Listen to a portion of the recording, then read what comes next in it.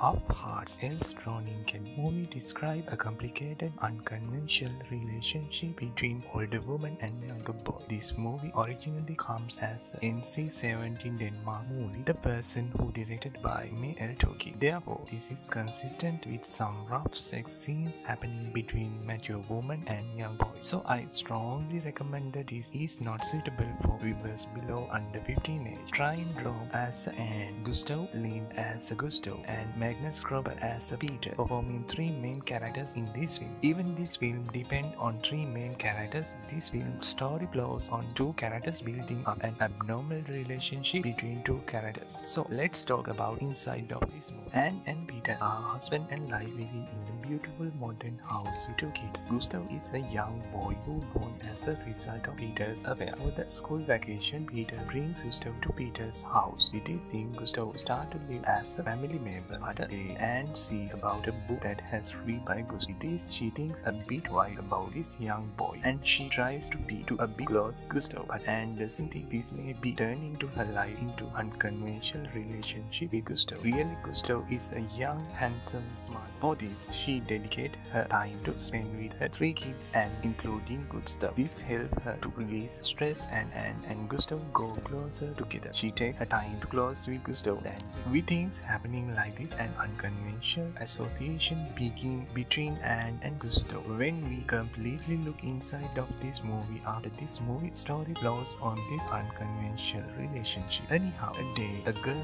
who knows Anne and Gustav sees while they kissing each other somewhere. This may be trouble for Anne and Gustav and Anne decided to terminate this unconventional association. But it's not an easy task for Gustav because he loves his stepmother's company. But Anne always tries to skip him. As a result of this, Peter brings back Gustav to another place. A day, Gustav comes again to visit threatening Anne to say everything to Peter which was happened between him and Anne, but it was unsuccessful. So finally, as a result of this unconventional association, Gustav has to be away from his life. So this is the rough description of this movie. Even this started some joyful event, the movie and we keeping curiosity in the viewer's minds. So if you're interested in this movie, you can check the description links below. Also, I invite you to subscribe my channel.